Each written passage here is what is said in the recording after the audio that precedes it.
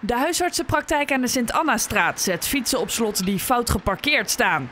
Naast het pand staan twee fietsenrekken voorzien van een bord waarop staat dat alleen bezoekers aan de huisartsenpost en de naastgelegen apotheek hun fiets mogen stallen. Passanten die hun fiets stallen zonder een bezoek te brengen aan de huisarts, moeten rekening houden met het feit dat hun fiets op slot gezet kan worden. Wie zijn tweewieler weer wil gebruiken, zal zich moeten melden bij de huisarts. Tegen betaling van 10 euro wordt de fietspas van het slot gehaald.